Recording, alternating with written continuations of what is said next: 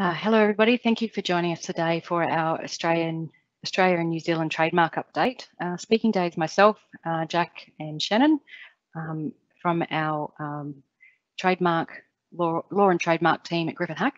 Uh, I uh, practice, most of you might know me already, and I practice um, in uh, with a specialty with branding and trademark enforcement and working with me is a senior associate Jack Collings he also does trademark enforcement and ownership IP advice. And uh, Shannon Fati will be talking as well this afternoon, uh, today. Um, and she handles a lot of uh, trademark prosecution in Australia and New Zealand.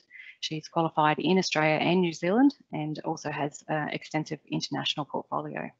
Uh, so what we want to do is go through some recent cases that have come up in the last year and just highlight um, some of the things that you should be aware of with uh, protecting uh, non-traditional trademarks. They're becoming more popular these days and have a look at a comparison between Australia and New Zealand and what differences you can expect um, for if you're if you're filing or um, have proceedings in those countries.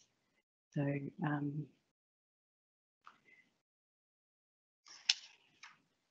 with the, the first case I'd like to talk about today is Southcorp Brands and Australia Rush Rich Winery. There are actually four respondents in that case. Um, one was a, a, Chinese firm and there were some other uh, companies. And it's of particular interest because it involved Chinese character marks. So the case concerned Penfolds wine. Most of us are familiar with Penfolds wine, or at least those of us who like wine are familiar with it. And they had, uh, and the case involved an infringement here in Australia and they have registrations for Penfolds, and that's quite an old registration. You can see the numbers there aren't very many. There's only five digits, but that's because it was registered in 1923. And then they also had trademark registrations for the word Benfu, which is how a Chinese or Mandarin speaker would um, pronounce the word Penfolds. They can't exactly pronounce Penfolds the way we would because of the linguistic differences, and they um, don't normally pronounce L, so it sounds more like Benfu, uh, and then the Chinese character mark, which is the translation. And they had those three registrations um, in class 33 for wines. And they commenced proceedings because Australian Rush, Rush Rich Winery and um, the Chinese company and some others were involved in using these Chinese character marks that are on display now. Now, for those of you who can actually speak Chinese or Mandarin, you'll see straight away what the problem is. And for those of us who don't know how to speak Chinese or Mandarin, you'll probably be sitting there looking at those pretty pictures, wondering what it's all about. Now, if you if you're quite sharp, you will have noticed that on the first slide I had that um, third registration there for the Chinese characters, and you'll see that um, the first one, first dot point there is identical. And going down that list, you'll see that that mark actually is in all five, although sometimes it's at the beginning and sometimes it's in the mark. So even under Australian law, if you were looking at this um, and you were comparing the Chinese character mark to the Chinese character mark, it'd be identical. And you probably say, what are we, what are we having a case about this for, Kellie? Um, and perhaps also those other two. But what's interesting though, is the finding in this case that the trademarks, these character marks that I'm showing you now, um, infringed not only the Chinese character mark owned by Penfolds, but also the other two word marks, Benfu and Penfolds. So um, we'll have a look at how the judge actually arrived at that decision. It was um, Justice Beach, who's quite a good judge. Um, and he, there were a couple of, um, there were some background facts that he took into account. Um, in, and he said that consumers of wine in Australia include many Mandarin and Cantonese speakers. I think it's fair that uh, maybe all, there's many languages, but he was able to identify that Mandarin and Cantonese speakers also like wine. Um, that, that it was of particular relevance that the um, word penfolds cannot be exactly replicated in um, in by Chinese and Mandarin speakers. They say something closer to Benfu, and the character mark, the Chinese character mark, is pronounced as Benfu when they read it. Um, there was some other data given to him during the proceedings uh, around um, the fact that uh, for people who are Australian residents um, and where they were born from originally, first is English people, then there's um, New Zealand people, and then the next biggest group is Chinese people. And we have a very big influx of Chinese people um, and Mandarin speaking people as tourists into Australia, or we did pre COVID 19. So all of that was taken into account by His Honour to say that uh, the market that we have here in Australia does in fact have people who can speak um, Chinese and Mandarin. And so when when he looked at these marks and he said, well, we need to um, go through our Australian law, but how does that apply when you're dealing with Chinese characters? And in terms of establishing the ordinary signification of a trademark consisting of a foreign word, what's important is the meaning conveyed by that foreign word uh, to those who will be concerned with the relevant goods. So here we have wine drinkers, but in particular, there might be Mandarin and Chinese speaking wine drinkers. And when you're assessing infringement, um, emphasis is placed on that meaning and pronunciation. And it's also you appear you do have consideration into the visual and oral aspects, the appearance and sound, the same as we would when you're comparing Roman characters. And and he did that in this case, and I'll take you through that in a moment. He also said so there was trademark infringement, but also a claim for misleading and deceptive conduct. And he said, and he confirmed, and this is consistent with other case law, that you can have misleading and deceptive conduct arising in respect of a class of people within the market. And, and it was um, reasonable here. He was identifying who's what's the market would be Chinese and Mandarin speakers, and and who's the reasonable consumer within that market. So just because we are predominantly English speaking doesn't mean that you can't have a case for trademark infringement or ACL um, in a in a foreign language situation. So uh, there was an infringement finding under section 120. There was also an infringement finding under section 228. Now, some people aren't familiar with section 228. It's actually a provision that says an infringement will be found if you apply the mark here in Australia with the intention of sending that good overseas. So here Penfolds was, well, the infringing party was applying a mark to a wine made in Australia and then sending it into China. Um, and saying it was Ben Fu with this character mark. So that that was the activity, and it counts as an infringement here, even though the good will be sold overseas. So, um, sorry, I've clicked a few, I'll just go back. So looking at these marks, for those of you who don't speak Chinese or Mandarin, um, the first one is identical, Ben Fu. Second one is Ben Fu, but the last two character, characters um, stand for wine park or winery, for a very descriptive word. The next ones are the more common translation for winery.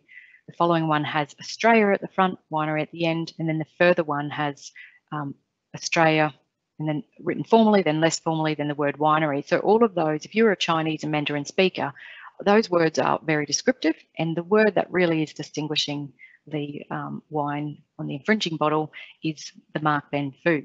And then you might say, well, okay, I can understand how a Chinese character mark is identical uh, to the other Chinese character mark that Penfolds was um, had registered or Southcorp brand had registered.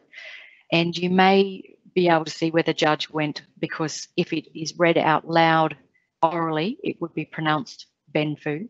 Uh, and so the judge, people can see, well, that's that's the same. I can see where the judge got there. And then Penfolds is one step different again.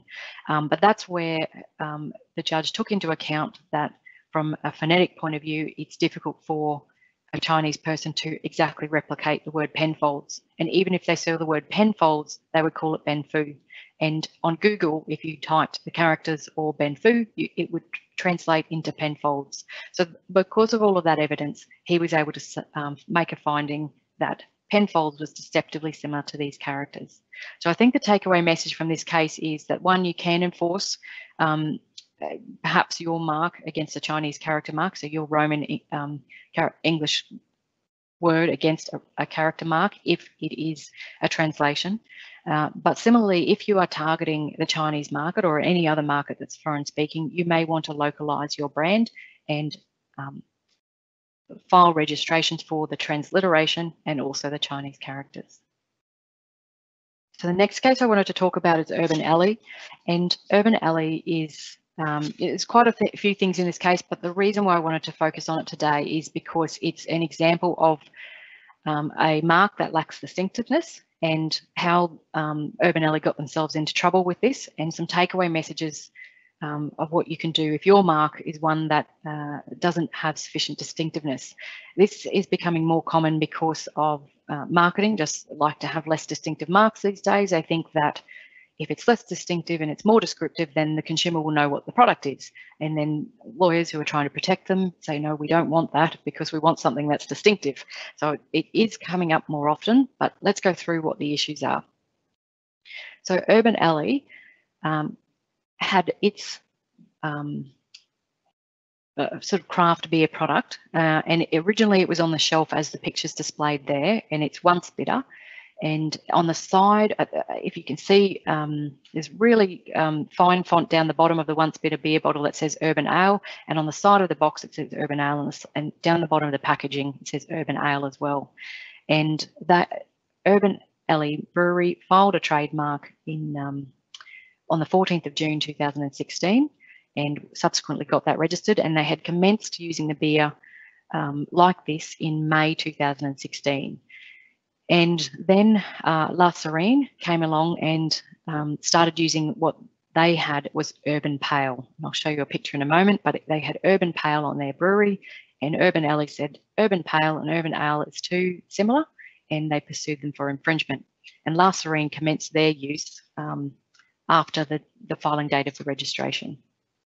But as part of the proceedings and in order to get out of infringement, La Sirène applied for the cancellation of the Urban Ale registration on the basis that the mark lacked distinctiveness and should never have been registered. And we're seeing this happen more often where um, cross claims are filed to attack the validity of a mark to try and get out of infringement. So this, um, I just wanted to show you this slide. It's um, so the proceedings, just the timeline. If I say that again, so Urban Ale started using in May 2016, and then they filed their trademark in June 2016. By that time, they had about $10,000 worth of sales, not much. It had only been going for a month. Then Urban Pale started in around October 2016 with its Urban Pale, and uh, proceedings were filed in February 2018. And then while those proceedings were on foot, some changes were made to the packaging. And probably um, because of legal advice, which is great because this is actually much better packaging in order to show use of Urban Ale as a trademark. So um, by the end of the financial year 2018, uh, Urban Alley had about $520,000 worth of sales, so not very much. Um, and in in the opposition, uh, sorry, in the cancellation proceedings, that was um, an issue that was discussed. And His Honour was having a look at some of the evidence that had been filed by both parties, and this press release came up. And, it, and I've flagged it because it's a good example of maybe not what not to do. Um, if you have a mark that is lacking in distinctiveness, it's really important to try and make sure that you start um, using it as a trademark as a source of origin and educating the consumer that you treat the mark as a trademark and that's how you want them to treat it. Um, this particular press release, release, it was probably, look, given that these guys had done very little sales, it probably went to all of 10 people and it was a bit harsh of Justice O'Bryan to, you know, slap their wrist on this one. But um, it is an example of how they were probably not doing themselves any favours because they were calling the style of the beer um, urban ale. You can see there in the second line, but they were uh, kind of ma matching it up with phrases such as Aussie Golden Ale, which is very descriptive. Golden Ale is specifically um, describing the product. Um, Belgian Blonde, not so much, but it, it is it is starting to um, water down their rights there. They would have been better if they had Urban Ale, TM, maybe they call it bold, maybe they change the font. So it's really important to um, just bear in mind how, if you've got a mark that lacks distinctiveness, how the business is using that and when you have proceedings like this, what evidence you actually file, that it could the other side put this in, but just be careful on what use is out there. So in this case, the evidence showed that the word urban had been used in connection with breweries and beer products for a considerable period of time. There was evidence filed um, by the by um, La Sirène to show they had some uh, people who review beers and the like, and they were trying to show that at the time the um, urban ale mark was filed, the, the, the mark lacked distinctiveness at that time. And La submitted that the ordinary signification of the words urban ale is to describe the ale made in an urban area um, for consumption by an urban audience. So they were saying that the word urban um, was a, describing a characteristic of the goods. Now, um, Justice O'Bryan in this case, he found that the urban ale mark did not to any extent inherently adapt the mark to distinguish the beer. Now, I think that's a bit of a tough finding. Um, I think that most people probably would have said that urban ale has some distinctiveness, but not sufficient to be outright, outright registrable.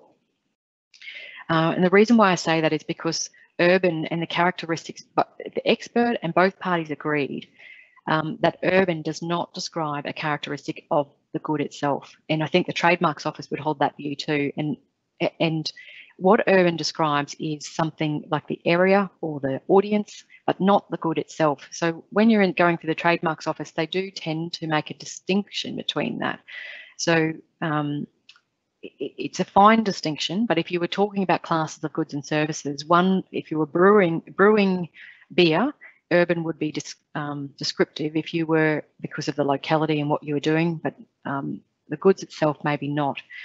Anyway, most people say that this is a bit of a harsh finding. Um, urban ale's not the same as the word soap or um, the word beer, which is completely descriptive.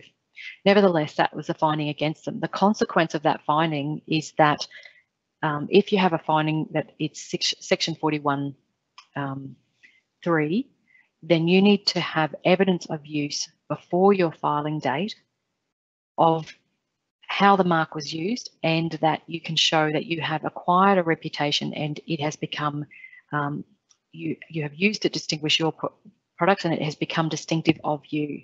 And that has to happen before the filing date. So before I said they only had about $10,000 worth of sales, they didn't have sufficient use. And in this case, the um, judge formed the view that the mark should be cancelled, the registered mark should be cancelled. Um, and when he was looking at whether or not there was uh, misleading deceptive conduct, an ACL type claim, he was looking at all of the evidence, but still even up um, to the, uh, the, the evidence that was filed, there was only 520,000 dollars worth of sales in financial year 2018, so not enough. So it, it's a bit of a tough, um, tough finding, but even if His Honour had gone the way that I think most people would think that this mark has some some ability to distinguish, but um, not enough to be inherently adapted, uh, there was still insufficient evidence, um, in my view, uh, that um, would have allowed the the, um, the test to be met. Um, whether the judge could have or ought to have exercised discretion not to remove it, um, that's another debate. But in this case, the finding was that it was there was not sufficient evidence, it lacked distinctiveness, and it was cancelled.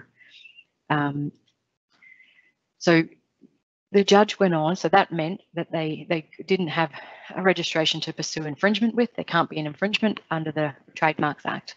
But the judge did go on to consider whether the urban pale um, can was an infringement because uh, he, he, said, look, if I'm wrong and, and it comes back on, on appeal, I need to consider this question of trademark use. Now,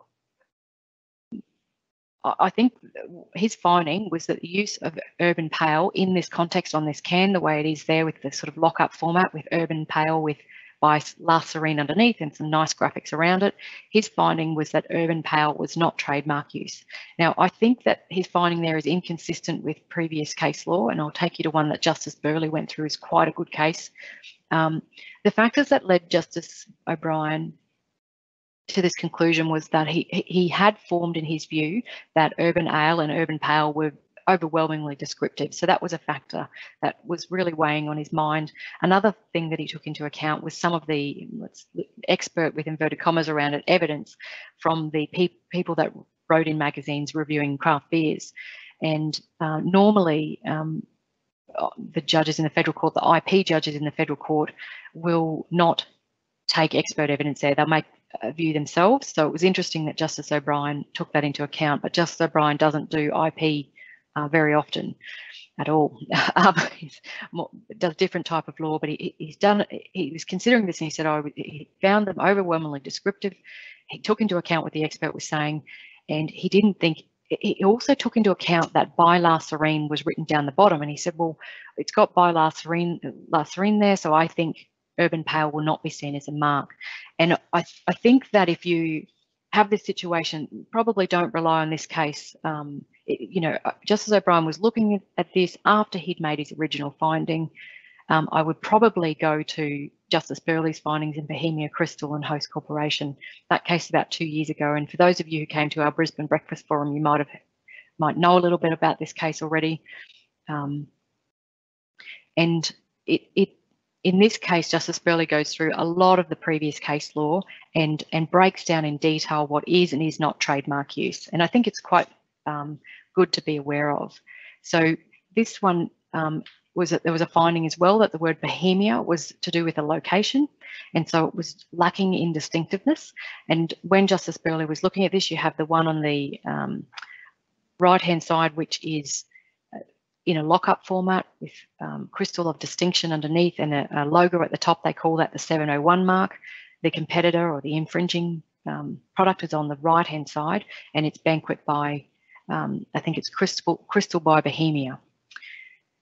And Justice Burley, he, he had a close look at how this is happening and, and this case came out um, as in the course of the proceedings for the Urban Alley case and may well have been why the, pa the packaging was changed in the course of the Urban Alley case.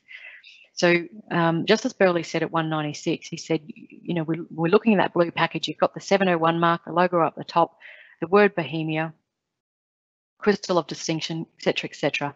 And the problem with looking at that is that you can't just look at the word Bohemia in isolation. It's a lockup, and so it um, causes some ambiguity about what mark is actually being used and whether you can say that the word Bohemia on its own has acquired distinctiveness. So if you have got a um, mark that lacks distinctiveness and you're trying to use it, the best thing to use to do is use it in isolation, the way the second version of the Urban Ale case was doing it. Justice Burley also went on and, and talked about how um, the logos were presented and the use of Bohemia was presented. And in this case, it was interesting because it was Crystal by Bohemia, similar to we had by La Sirène in um, Urban Alley case, but um, consistent with the previous case law, Justice Burley made it very clear that the use of one obvious trademark, the word banquet, does not preclude the finding that there's another trademark. So when um, Justice um, O'Bryan was looking at his pale ale, uh, urban pale La Sirène beer can, just because he found a finding that La Sirène was a trademark doesn't mean that um, the other, there couldn't also be a finding that Urban Pale was a trademark. Now, I'm of the view that Urban Pale was being used in, um, you know, it's very prominent. It was there to um, attract the consumers' con um, attention. And I'm, I think he should have gone with the finding that it is trademark use, but because he had already found that it was um, too descriptive that basically nobody had rights in it, everybody was using it. So I know, um, I'll just swap over to Jack soon. I just want to give you some takeaway messages um, as to what you can do in practice to help avoid these issues. So firstly, if you're at the Trademarks Office, this is section 5.5 from the manual um, and some of the factors that the Trademarks Office look into. So are you as a um, person that owns a mark, are you treating it as a, a badge of origin? And so where we had that press release, don't do things like that. Try to use it clearly as a, as a, um, a mark. Use it on the side. So those cans that we looked at, the second version of the cans where it had the brand down the side, it was very prominent use of urban ale. That's what you're striving for. Um, other things to be th thinking of is if you've got proceedings, opposition proceedings on foot, or if you're in court and you have cancellation um, proceedings, you need to be getting as much volume of evidence as you can into the proceedings so that you can demonstrate that the mark has acquired distinctiveness and um, try to get the best examples possible where the mark is used on its own because you do have the ambiguity where the mark is um, in, in a composite format. Um, in particular, try to, if you're still using a mark, try to put your TM symbol, try to use it um, with capitals or bold or font to try and distinguish it. And um, just be aware that it is more common now for people to attack the validity of mark and that this could come up. So if you're going to start proceedings, that somebody could challenge you and you'll need to be there ready with your um, evidence. So um, I, that's all I want to say on those items there. I'll hand over to Jack now and he'll be um, joining us today to talk about protecting non-traditional signs. Um, so I'll take it over to Jack. Thanks, Kellie.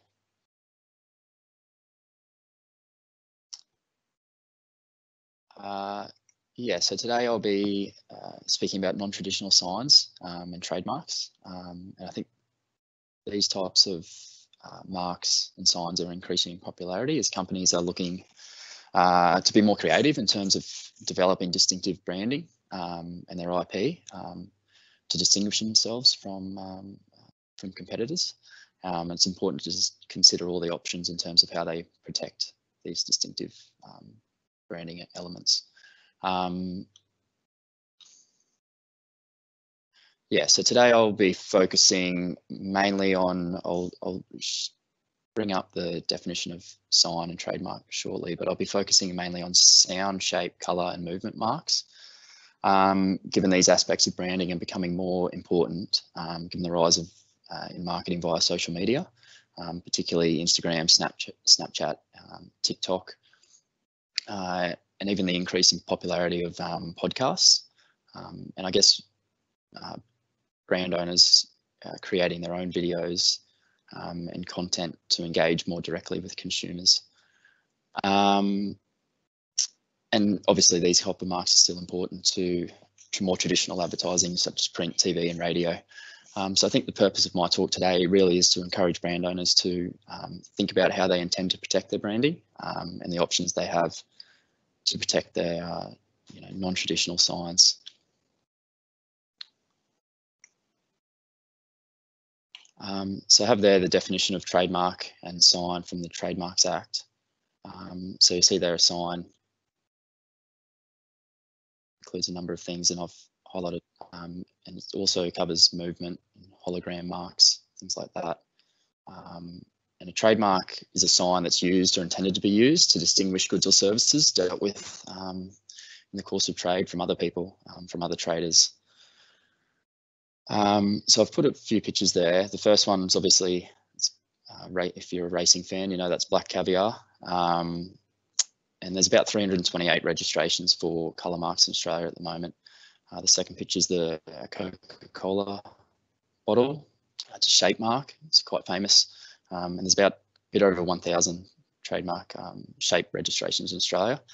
The third is a sound. You can't, it's a bit difficult to see that, but it's the sheet music for Intel Corporation. Um, uh, so we'll discuss that a little bit later. There's 61 registrations for sound in Australia. Um, and the fourth is a uh, is Toyota. Um, it's a movement mark.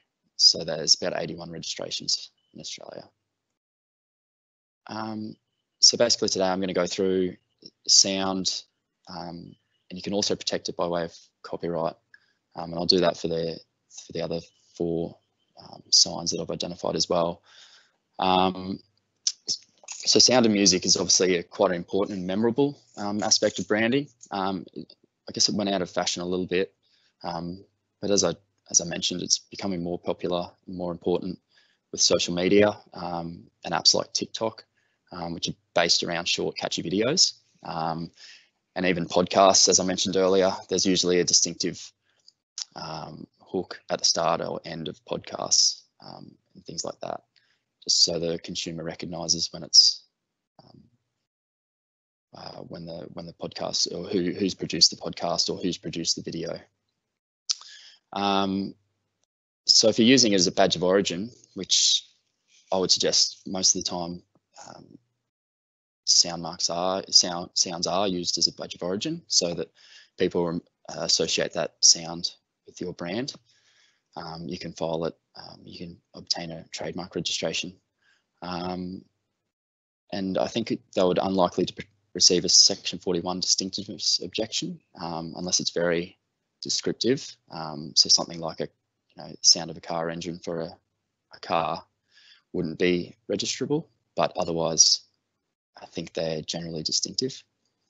Um, and they can also protect some sounds that um, or music that may not be protected by copyright. So, um, so for copyright to subsist, it must be sufficiently original. It doesn't have to be overly um, innovative. Sorry. It doesn't have to be overly innovative or artistic but um, it does have to be attributable to the author's skill and labour. Um, so uh, I think arguably there is, there are some benefits of seeking trademark registration. um, for sound marks. Um, and the, one of those might be that the short sounds or musical compositions that may not attract copyright protection can still be used as a trademark and registered and protected. So an example I thought of was um, Compare the Market uh, has a sound registration for the way Meerkat says simples. Um, that probably wouldn't attra attract copyright protection, but it is quite distinctive. Um, even the Intel one that I mentioned earlier, there's actually only four or five notes in that. I think probably copyright would subsist, but I think obtaining a trademark registration uh, would minimise the risk of, I guess, having an argument about that if you were looking to enforce it. Um, trademark registration as well, you don't you don't need to prove copyright ownership, um, which can sometimes be difficult. Um, and arguably the test, I think, for trademark infringement um, being uh, whether it's substantially identical or deceptively similar, um, will catch a broader range of conduct than um, the test for copyright infringement, which is a substantial reproduction. Uh, there's no cases on that at this stage, um, but I guess even if I'm wrong on that, there's just another layer of uh, protection there uh, for you to consider.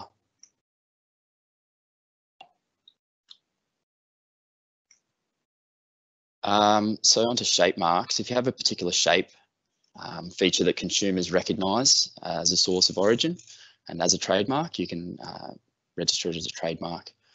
Um, so obviously examples of the Coca-Cola bottle, um, it's well known. Um, and there's Toblerone, the um, chocolate packaging shape. I think one issue with trademark uh, shape trademarks is they potentially are more likely to receive a distinctiveness objection. Um, obviously depends what the shape is, but you may need to provide evidence of use. Um, and that'll need to show that you have promoted your uh, the shape as a trademark um, and that consumers have come to recognize it as a as a trademark. Um, I'll discuss a little bit later in, in terms of how you can do that, uh, how you can demonstrate that and how you should use your shape as a trademark. Um, you can also register a shape as a, as a design. Uh, you can also obtain a design registration. So that'll protect the overall appearance of the product. Um, however, design protection, you, you cannot um, uh, make the design publicly available before filing the um, application for a design. Um, and design protection only lasts 10 years. There's also a two-step process. So you um, go through a formalities um, examination initially and you can obtain a registration. But then you, if you would like to enforce it, um, you need to have the design registration examined and certified before you can enforce it against um, any third party. But I guess they're just having the design registration number on packaging and then marketing material can sometimes deter infringers on its own. Um, so an option uh, is to, if, if, if your mark, if your shape isn't uh, distinctive before you start using it, um, it's obtain design registration initially before you've made it publicly available.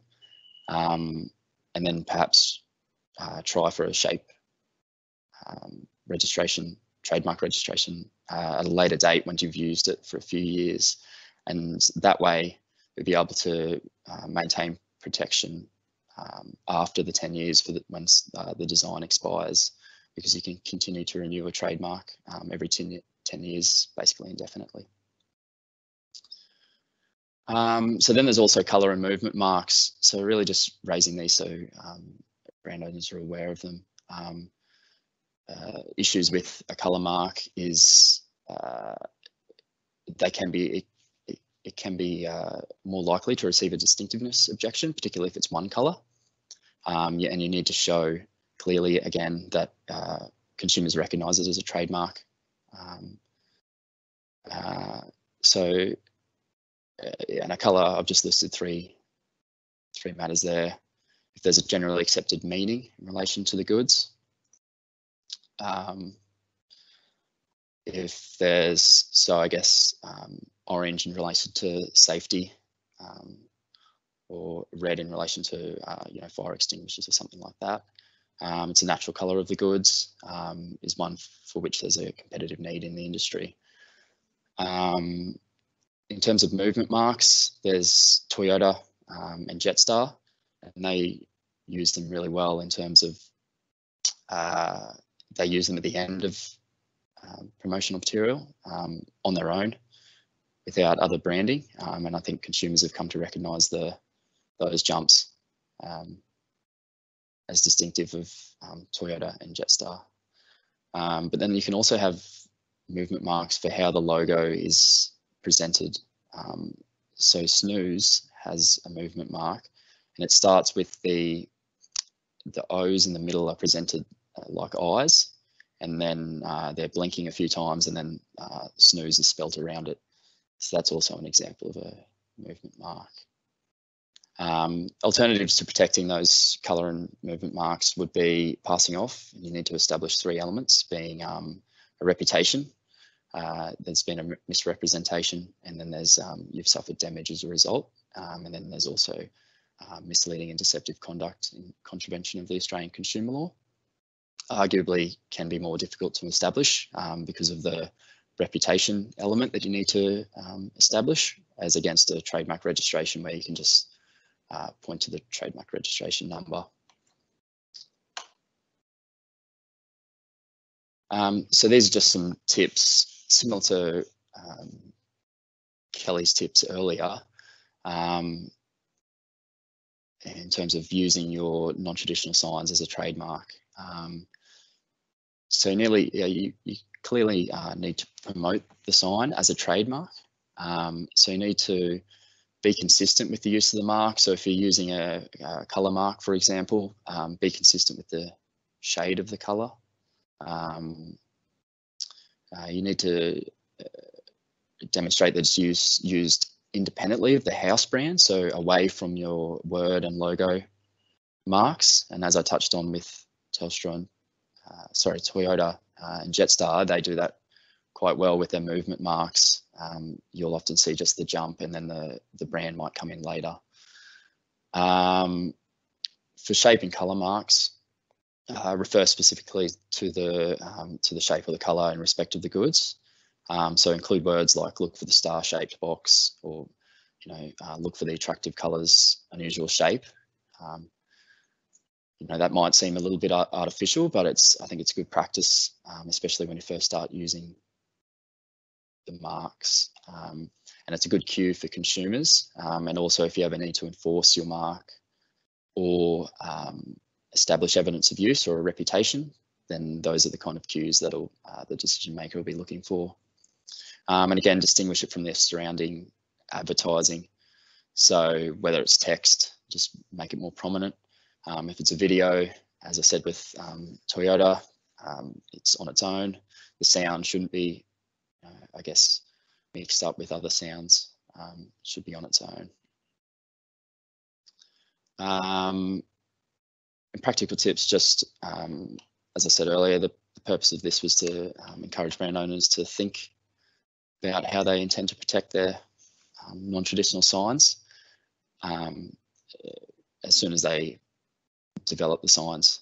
Um, and if you're looking for a shape or a design, then it'll be before you um, launch launch the um, the sign in the market.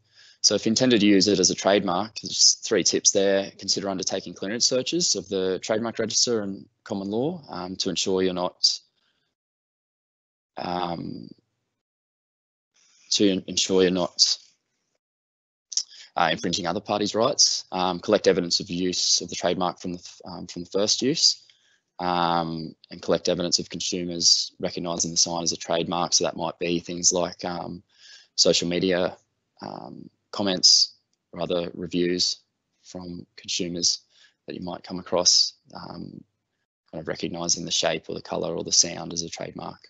and establish internal guidelines for how the sign is to be used. Um, as um, I discussed in the earlier slide. Um, so I'll pass on to Shannon and she'll be discussing the um, Australian New Zealand trademark practice.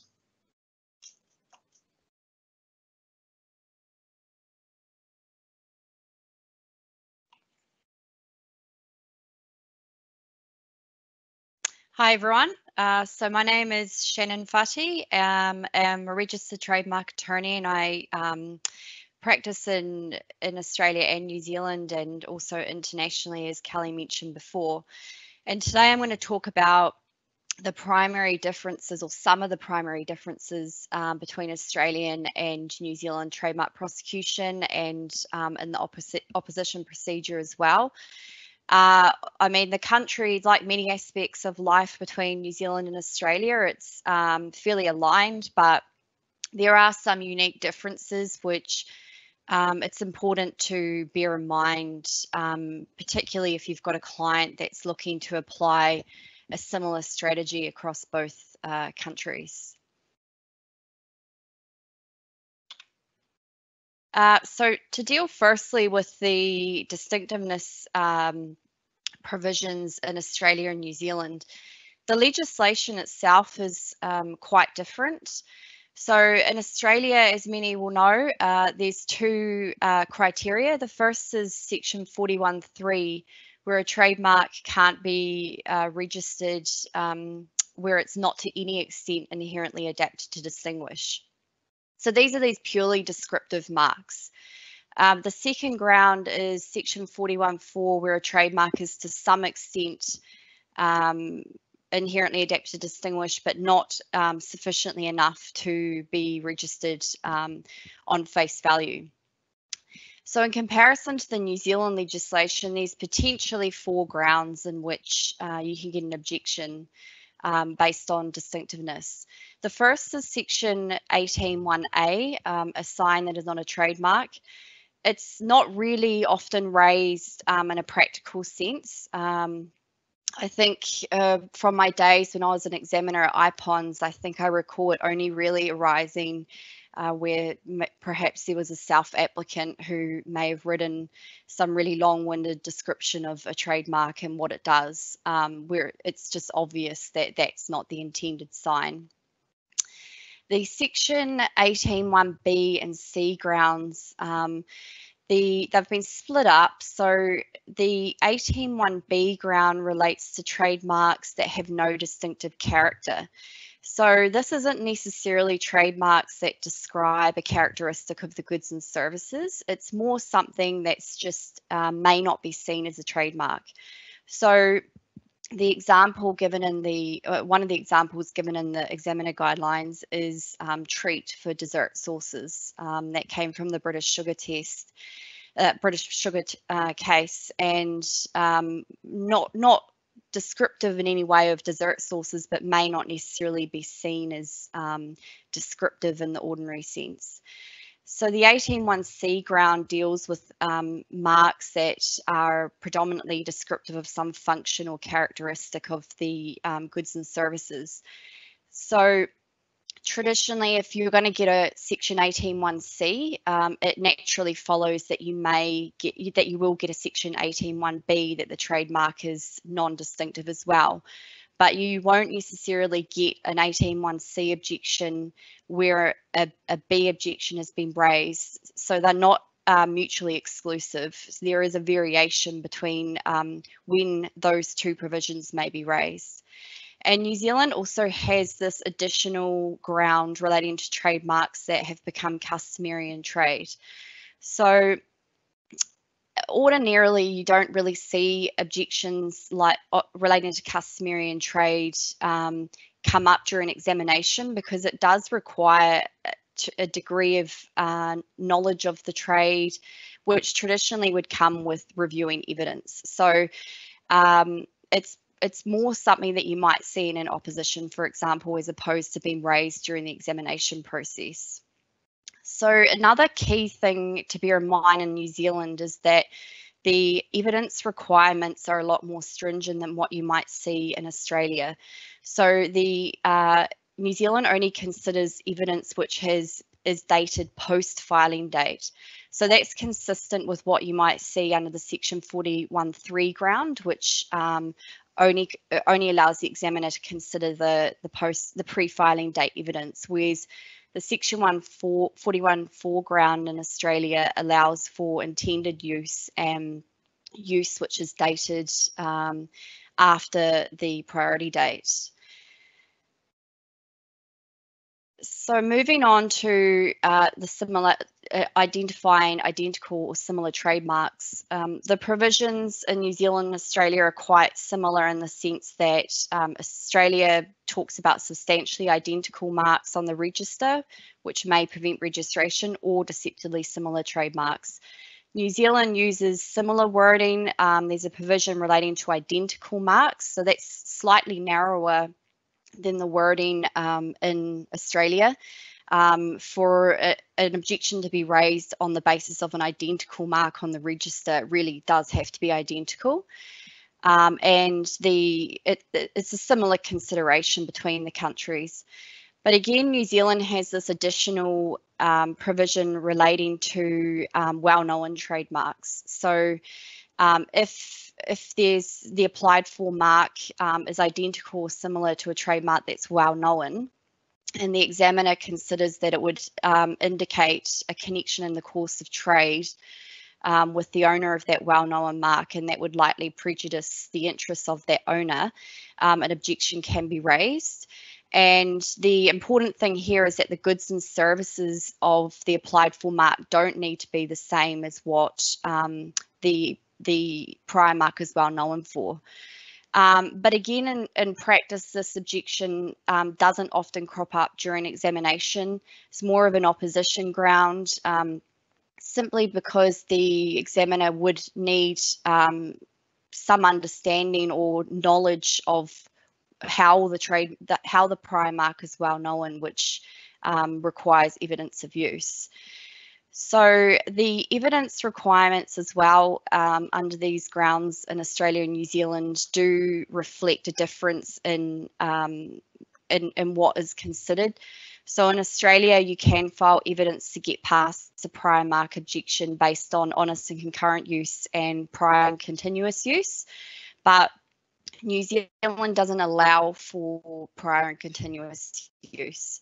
So if you're thinking about going into the New Zealand market and your clearance searches indicate that there is a prior mark on the register, um, if you're wanting to rely on evidence of use to overcome that objection, you really need to consider um, prior to filing whether your use in New Zealand would satisfy the honest and concurrent use um, requirements.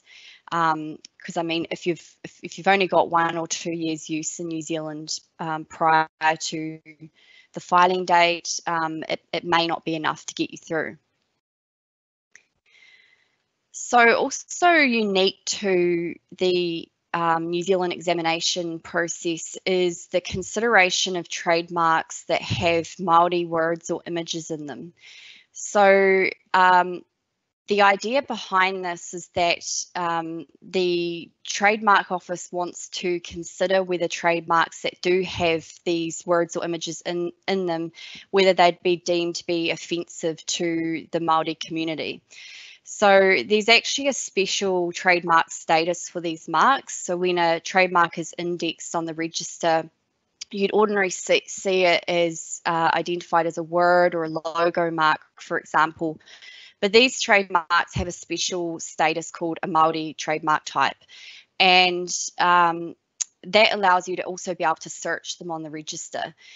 Uh, New Zealand also uses the Vienna classification system for images. Um, so that involves a number of, um, I guess, codes um, relating to particular um, images or shapes and there actually are special uh, Vienna, Vienna descriptors for New Zealand relating to common um, things like, say, for example, the moko, which is the facial uh, tattooing, um, or New Zealand specific flora and fauna. So if your trademark is deemed to be a Māori trademark, um, it will go to the Māori Advisory Committee who will decide whether your trademark is likely um, to cause offence. And that committee is made up of a number of um, scholars or people with background, uh, you know, sufficient background in um, the Māori language and customs um, who are qualified to actually make that assessment. So some words and images won't be problematic. Um, for example, the word Kiwi, it's so well known, um, it's generally not seen as problematic, or the koru image, which is the um, fern spiral image that you often see um, in different ways in New Zealand. So some example, I've just got some examples below from the examiner's manual um, for trademarks, which may have, um, which I think actually were previously registered many years ago, but probably wouldn't meet the um, threshold now to get through. A particular red flags are trademarks that have Māori words or images and that are used or applied on um, cigarettes or alcohol. But as you can see, um, you know, any representation of, say, historic um, figureheads or chiefs um, or any use on cigarettes um, will will be scrutinised um, quite heavily. So what about Australia? Um, currently, there's no specific provisions relating to um, trademarks that have Indigenous words or symbols. Um, there is a consideration, um, a general consideration that that will be the examiner will take into account as to whether something is offensive, but that's quite a high um, threshold um, in the ordinary sense, and it's not necessarily specific to looking at it from um, what's culturally offensive, which um, you know may not necessarily meet those high um, tests, or the high general offensiveness tests in an ordinary sense. Um, so I'm not going to go into to any too much detail about the Borobi case, but um, this case dealt with the uh, the koala mascot from the Commonwealth Games in 2018 in the Gold Coast, um, and this specifically dealt with um, whether there whether there is a requirement to actually consult with Indigenous communities if you are actually using um, a, a, trademark that has got Indigenous um, words or images in it. And uh, it, the delegate in that case um, said that there's when when filing a trademark application, there is no requirement for consultation. So um, I guess the the provisions in New Zealand um, is almost like a safeguard in a sense, um, or, or an additional step to make sure that this this aspect is actually given due consideration um, at some point in the process. So um, if you're interested in reading up about the Borobi case, I wrote an article on it um, a few years back, and I'd be happy to send that to you if, if you want to have a read. Um, so, sorry, um, for oppositions, I'm not really going to deal with the grounds specifically. Um, I just wanted to touch on the difference in the extension of time provisions between the countries. Uh, so in New Zealand, there is the the option of requesting a one month extension of um, extension to file a notice of opposition, um, and this can be extended for a further two months with the consent of the applicant. So um, that would normally arise if the parties are negotiating some kind of resolution.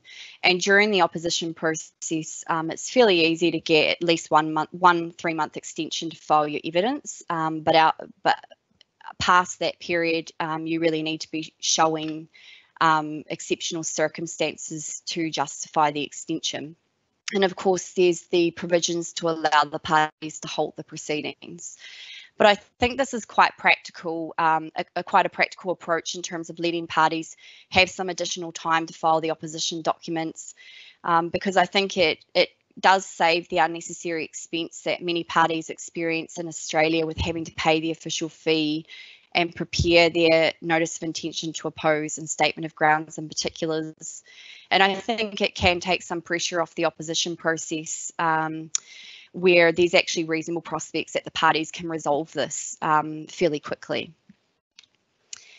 So in Australia, the raising the bar amendments in 2012 really tightened the screws on what um, on when you can get extensions of time in oppositions.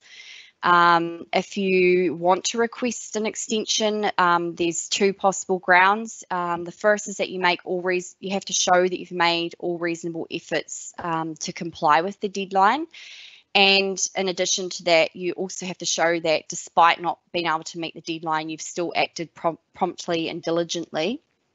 Um, or you need to be able to show exceptional circumstances. So that may be um, circumstances that arose that were outside, beyond your control, that prevented you from meeting um, the deadline, or an error or omission, for example. So in practice, um, my advice is always to clients to, where possible, avoid relying on extensions of time um, because they they can be very difficult to get and um, often you can get quite inconsistent outcomes from the trademarks office. Um, one thing to bear in mind as well, um, the Trek Bicycle and Red Hawk case um, made it clear that you can't, uh, uh, time spent in settlement discussions doesn't justify an extension of time. So ordinarily, parties might enter into a cooling off period, but if that's not available, then um, whilst irrespective of what's happening in the settlement negotiations, you do still need to be um, preparing your evidence of use um, with the intention of being ready to file it um, if you need to in due course. Um, another couple of key things between Australia and New Zealand oppositions. Um, the evidence in Australia only needs to be submitted in a declaration form, so there's no legalisation requirements. Um, and if it's appealed, then it um, is a de novo appeal, so you can resubmit your evidence. But in New Zealand, it has to be in the form of a statutory declaration it must meet the High Court standards. Um, and that's because if you are appealing, you need to rely on the same evidence that was put forward um, before the Trademarks Office. So sometimes if you know that there's going to definitely be an appeal, um, it's definitely a good idea to get a barrister involved quite early in those proceedings. Um, for non-use proceedings, I'm not really, I'm going to focus mainly on um, the differences where use can't be shown or there's, it can't be shown for all goods and services. So in Australia, um, you may be able to claim that there was an obstacle to use, but this needs to be of a trading nature. So a good example of this is um, pharmaceuticals, um, you've been prevented from using the trademark due to holdups in the regulation process. Um, outside of that, though, the registrar has a really broad discretion to maintain a registration um, where it's reasonable to do so, irrespective of any use made. So um, it doesn't require exceptional circumstances, um, but some factors may be that there was no abandonment of a trademark. There might be a residual reputa reputation that the um, trademark owner, you know, feels that um, another party might take advantage of that um, for their own benefit and even use outside of the three year period will be considered um, but you need to really show in that case that it's it's in good faith and that they're genuine sales and not just um, to defeat the removal um, action so this decision was released um, actually last month, and I thought it was just quite interesting because it talked to um, the trademark owner was able to show um, use on protective goods in class 28 for martial arts only. Um, and the removal applicant wanted the registrar to actually exclude protective gear for lacrosse and hockey equipment, um, given the evidence indicated that the physical properties of those two goods were quite different. But the delegate didn't find that that was acceptable because it was would create too much of a fastidious distinction between them and considered the commercial realities that these types of goods are often sold in the same outlets. Um, for example, at Rebel Sport, where consumer may go in and, and encounter both lots of goods. So there was a, a likelihood of confusion there. So um, the delegate removed gymnastic and sporting equipments, broad items like that, but exercised discretion to retain protective items quite generally, um, which would have prevented the removal applicant from getting their trademark through. Um, and I'll just quickly run through these slides just because we're running out of time. Um, eh, for the difference in New Zealand, um, you can show special circumstances to maintain um, your registration, but um, it needs to be outside of the control of the owner, and but doesn't need to be um, trade related. So a good decision there, which was recently an appeal to the High Court was the Fokker Brothers case, um, which is worth having a look at. Um, but critically, New Zealand has a use it or lose it approach. There's no discretion for the Commissioner to maintain a registration where there's no use, um, aside from the fact of these special circumstances. Um, so I'll just move on to my last slide, um, just touching on invalidity in New Zealand and Australia. So Australia allows for revocation of a trademark within um, 12 months of registration, um, but there really needs to be a clear sign that there was an error omission or omission which lead to the registration. Um, and even if you can satisfy that, um, it's also got to be reasonable. So if the trademark owner has relied on the registrar's decision to grant registration and invested a significant amount of money, it may not be reasonable to revoke that registration. So it's very rarely um, used. Um, outside of that 12 month period, you need to go through um, the court system. Um, in contrast, in New Zealand, um, you can actually bring an invalidity action at any time on any of the opposition grounds, um, and that's heard before IPONZ. Um, so obviously the costs and the um, time involved there are significantly different to what you would experience in Australia. Um, so sorry to rush through those last few slides, um, but that's the end of my presentation. We're happy to take any questions. Brilliant. Uh, thank you very much, uh, Shannon uh, and Kellie uh, and Jack for running through your presentations. Um, in terms of uh, questions, um, a question from uh, Mark Pullen um, for Kellie. so Kellie, might the urban alley decision have been different if the word urban had been larger than the word pale and perhaps more separated from the word pale? Uh, yes, so I think the analysis, the second part of the analysis, I think the decision would stay, meaning that the the mark for urban ale would be cancelled.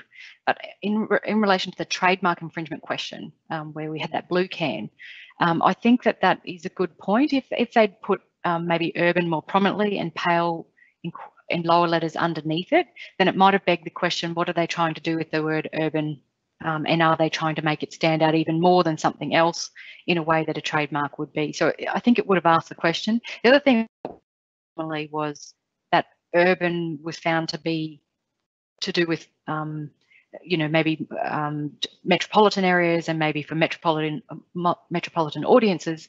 Um, but it didn't. The the branding on that blue can was actually farmhouse, urban pale, La Sirène. So I I thought the judge could have there could have been a line of inquiry around why you would use urban descriptively when you uh, have got a brand farmhouse at the top. Farmhouse and urban didn't seem to sit um, together. Anyway, I think that is a good point. Had it have been on separate lines, perhaps the finding as to whether it was trademark use could have been different.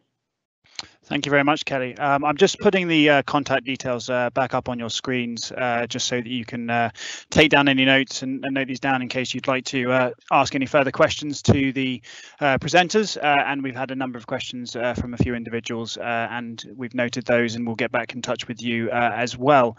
Um, I just wanted to, I guess, um, finish by just letting everybody know that there's a another webinar that Griffith Hack will be doing next week on improving collaboration between universities, research research institutes, uh, so research institutes, startups and SMEs next Thursday.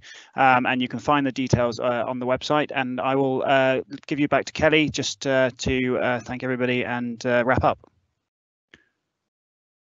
Thanks, everybody. It was um, good for you to join us and we will have another trademark um, themed presentation in about six, six weeks from now. Cool. Thank you all.